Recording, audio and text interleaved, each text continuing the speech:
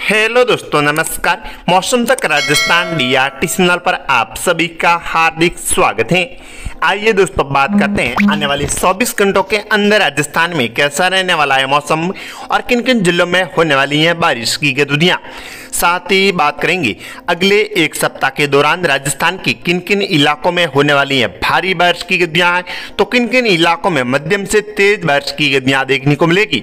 और बंगाल की खाड़ी में बना निम्न दबाव के प्रभाव से राजस्थान के किन किन इलाकों में और कब कब बारिश की गतियाँ होने वाली हैं, इसकी संपूर्ण जानकारी आपको इसी वीडियो में दी जाएगी। तो दोस्तों, वीडियो को अंत तक ज़रूर देखें। और यदि आप चैनल पर नए हैं तो आप अपने चैनल मौसम तक राजस्थान डी को सब्सक्राइब ज़रूर करें और वीडियो को लाइक ज़रूर करें।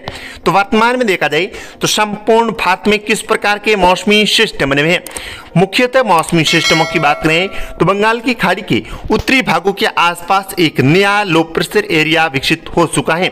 पिछले 24 घंटों के दौरान देखा जाए तो दो सर्कुलेशनों के मर्ज होने के कारण एक नया लो प्रेशर एरिया विकसित हो चुका है, जिसके प्रभाव से आने वाले एक सप्ताह तक संपूर्ण पूर्वी पूर्वी, मध्य, उत्तरी और पश्चिमी भारत का मौसम प्रभावित होने वाला है और इसी सिस्टम के प्रभाव से आने वाले कुछ समय के लिए आंध्र प्रदेश से लगाकर छत्तीसगढ़, उड़ीसा, पश्चिम बंगाल, बिहार उत्तर प्रदेश, मध्य प्रदेश के कई इलाकों से लगाकर गुजरात, राजस्थान के कई इलाकों से लगाकर पंजाब, हरियाणा, संपूर्ण उत्तरी भारत के कई इलाकों में इस सिस्टम के प्रभाव से मध्यम तेज तो कई कई इलाकों में भारी बारिश की गतियाँ देखने को मिलेगी।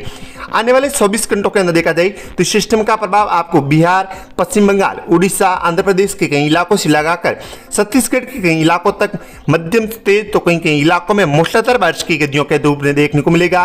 और राजस्थान के पूर्वी भागों से लगाकर मध्य प्रदेश, उत्तर प्रदेश के कई इलाकों में इस सिस्टम का प्रभाव आने वाले चौबीस घंटों के अंदर एक खंड बारिश के रूप में देखने को मिलेगा। उसके बाद बारिश की गतियाँ इन सत्रों में और बढ़ती हुई नज़र आएगी और कहीं की मध्यम तेज तो कुछ इलाकों में मूसलाधार बारिश की गतियाँ होने वाली है। और राजस्थान के उत्तर पश्चिमी भागों की बात करें तो इन क्षेत्रों में आने वाले समय में 19-20 के आसपास कहीं की खंड बारिश की गतियों की शुरुआत देखने को मिलेगी और 20 इक्कीस के आसपास देखा जाए तो इन क्षेत्रों में कहीं की मध्यम से तेज बारिश की गतियाँ राजस्थान के पश्चिमी इलाकों तक भी देखने को मिल सकती हैं। ऐसी गतिविधियाँ इन क्षेत्रों पर एक स्थानीय मौसमी सिस्टमों का विकसित विकास होने की संभावना है, जिसके प्रभाव से राजस्थान के पश्चिमी जिलों तक आपको मध्यम से तेज बारिश की गतियाँ बीकानेर संभाग के आसपास के कई इलाकों तक देखने को मिल सकती हैं। ये सिस्टम धीरे धीरे देखा जाए मध्य भारत के आसपास पहुँचने के बाद ये सिस्टम पश्चिमी जयधारा की सपेट में आने के कारण ये फिर से रिकॉर्ड करते हुए उत्तर पूर्व दिशा की ओर आगे बढ़ जाएगा, जिसके प्रभाव से हिमालय तलटी क्षेत्रों के आसपास सिस्टम के प्रभाव से कई इलाकों में भारी बारिश की गिद्दियाँ देखने को मिलेगी। और जब तक ये सिस्टम मध्य भारत के आसपास पहुंचेगा तो मानसून ट्रफ दक्षिणायन होने की संभावना है। और मानसून ट्रफ जैसे ही दक्षिणायन होगी तो राजस्थान के कई इलाकों में मध्य से लगाकर पश्चिमी इलाकों तक आपको मध्यम तेज तो कई कई इलाकों में मूसलाधार बारिश की गतियाँ देखने को मिल सकती हैं। ये बारिश की गतियाँ 20-21 अगस्त के आसपास संभावित हैं। 19 अगस्त से राजस्थान के मध्य इलाकों में कहीं तेज तो पूर्वी इलाकों में मूसलाधार बारिश की गतियाँ देखने को मिलेगी।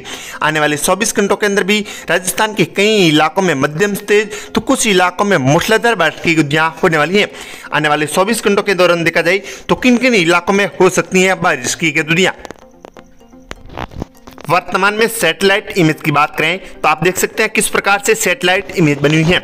मानसून ट्रफ की स्थिति की बात करें तो वर्तमान में मानसून ट्रफ का पश्चिमी सिरा हिमालय तलटी के आसपास बना हुआ है और पूर्वी सिरा हल्का दक्षिणायन हुआ है, जिसके प्रभाव से उत्तर प्रदेश के पूर्वी इलाकों में और बिहार के कई इलाकों से लगाकर मध्यम तेज तो कई इलाकों में मुसलधर बारिश की गतियों का दौर देखने को मिल रहा है। और इसी लोपर से एरिया के प्रभाव से देखा जाए तो बंगाल की खाड़ी के आसपास के इलाकों में आप देख सकते हैं किस प्रकार से घने बादलों का जमावड़ा देखने को मिल रहा है। और मध्य भारत के आसपास देखा जाए तो इन क्षेत्रों में अरब सागरी शाखा से आने वाली नमी के प्रभाव से इन क्षेत्रों में भी कहीं की हल्की से तेज बारिश की गतियाँ देखने को मिलेगी। राजस्थान के पूर्वी इलाकों की बात करें तो आज राजस्थान के पूर्वी इलाकों में विशेष तो कोटा संभाग, जयपुर संभाग के कई इलाकों में मध्यम तेज तो कुछ इलाकों में हल्की से मूसलाधार बारिश की गतियाँ देखने को मिल सकती हैं। ये बारिश की गतियाँ आने वाले 24 से 48 घंटों के अंदर इन क्षेत्रों में और बढ़ती हुई नज़र आएगी। और कहीं की तेज तो कुछ इलाकों में मूसलाधार बारिश की गतियाँ हो सकती हैं।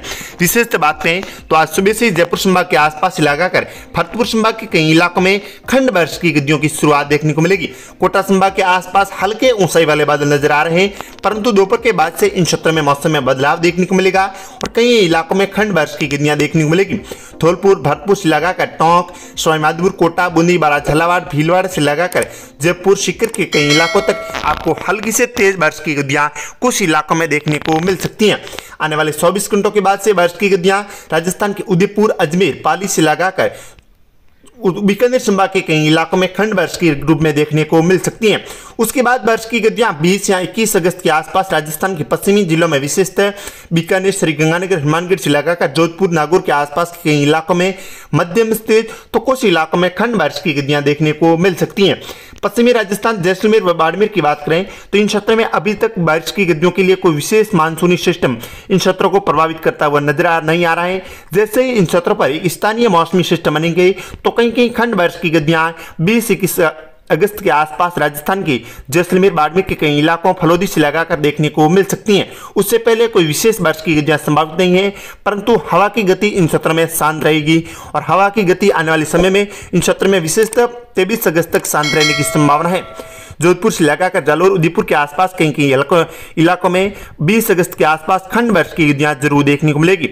भीलवाड़ा, अजमेर, टोंक से लगाकर जयपुर के आसपास कहीं कहीं भारी तो भरतपुर और कोटा संभाग के कई इलाकों में, एक दो इलाकों में अति भारी बारिश की गतियाँ भी इसी निम्न दबाव के प्रभाव से आपको आने वाले समय में देखने को मिल सकती है। तो दोस्तों, मौसम तक Rajasthan D R T channel पर अब लेते हैं। थैंक यू दोस्तों, नमस्कार, जय हिंद, जय भारत।